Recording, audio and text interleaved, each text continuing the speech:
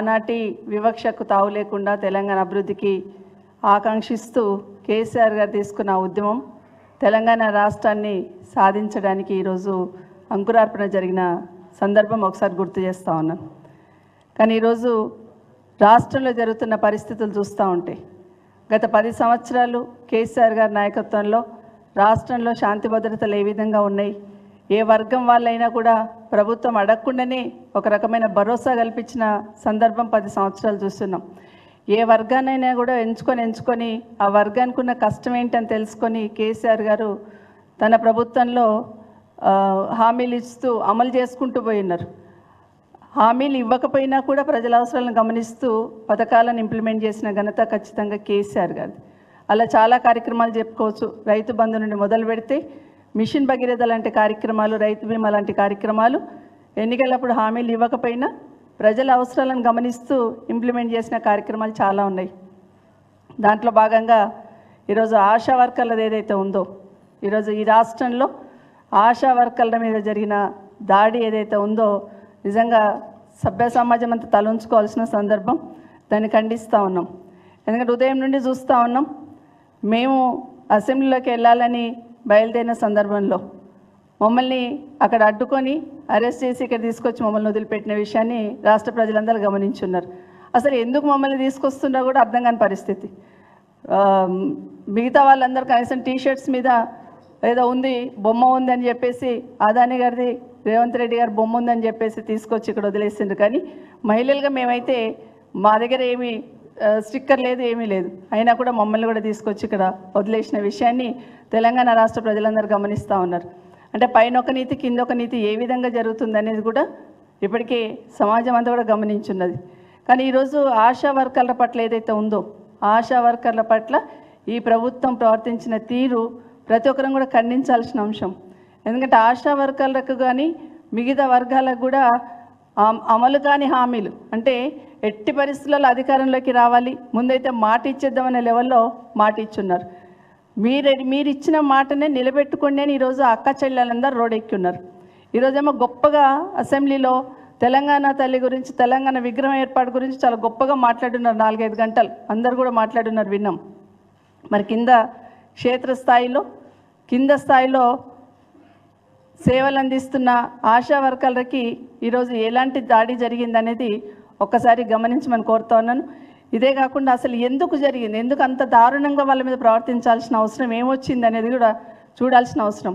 నిజంగా మగవాళ్ళు మగ పోలీసులు అంటే మెన్ బట్టి వాళ్ళ వాళ్ళ చీరలు బట్టి లాగుతూ ఉంటే ఏం జరుగుతుందో అసలు రాష్ట్రంలో అర్థమవుతలేదు అసలు నిజంగానే ఒక సైడ్ ఫొటోస్ తీసుకుంటూ వాళ్ళని భయపెట్టిస్తూ లాగి పడేస్తూ మగవాళ్ళు ఆడవాళ్ళు లాగకూడదని తెలిసినా కూడా చీర బట్టి లాగుతూ ఉంటే ఏం జరుగుతుంది రాష్ట్రంలో? అసలు అర్థమవుతలేదు అంటే మాతృమూర్తుల మీద అక్క చెల్లెళ్ళ మీద మగ పోలీసులు అందరూ ఆ విధంగా ఒక రకమైన దౌర్జన్యంలాగా చేస్తూ ఉంటే ఎవరికి చెప్తారు? ఎక్కడ పోయి చెప్తారు?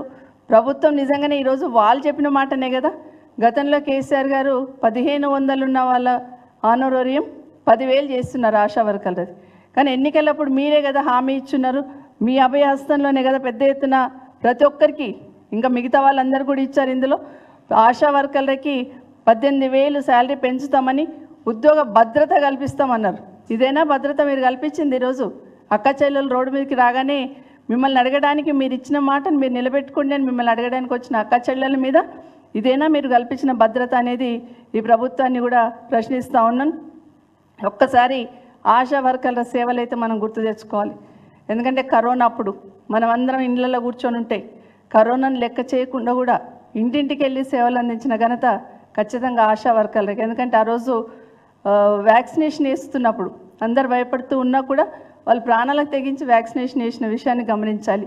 కింది స్థాయిలో కూడా ప్రెగ్నెంట్ లేడీ మొదటి మంత్ నుండి మొదటి నెల నుండి ప్రెగ్నెంట్ అయిందని తెలవగానే డెలివరీ అయ్యి తల్లి బిడ్డ ఇంటికి వచ్చేంత వరకు కూడా ఆశా వర్కర్లు వాళ్ళు ఎన్నంటి తల్లిలాగా తల్లి పాత్ర పోషిస్తూ ఉంటారు.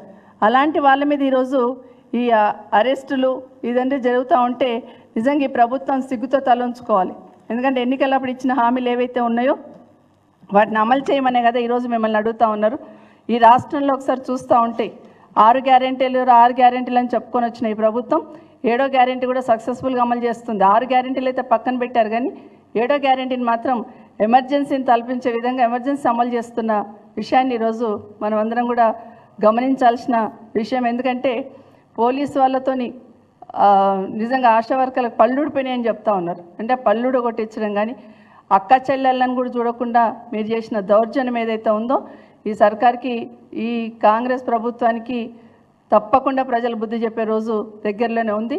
ఇప్పుడే చెప్తా ఉన్నారు సంతోషి అని ఆమె లీడర్ ఆశా వర్కర్ ఆమె పరిస్థితి విషయం ఉందని చెప్తున్న సందర్భంలో ఆమెకు మంచి ట్రీట్మెంట్ ఇప్పించాలి. ఎందుకంటే అక్కడ వెళ్ళిన తర్వాత ఎవరు పట్టించుకునేటట్టు కూడా లేరని వదిలేస్తున్నారు అంటున్నారు. తప్పకుండా ఆ అమ్మాయి కూడా ట్రీట్మెంట్ ఇప్పించాలి. ఇప్పటికైనా ఈ ప్రభుత్వం మీరు ఇచ్చిన హామీ నిలబెట్టుకోండి. అసెంబ్లీ నడుస్తుంది కదా మాకు ఇచ్చిన మాట నిలబెట్టుకుంటారు. మరొకసారి గుర్తు చేద్దామని ఈరోజు వచ్చిన అక్క చెల్లెలకి భరోసా కల్పించి మీరు ఇచ్చిన హామీని నిలబెట్టుకోవాలి.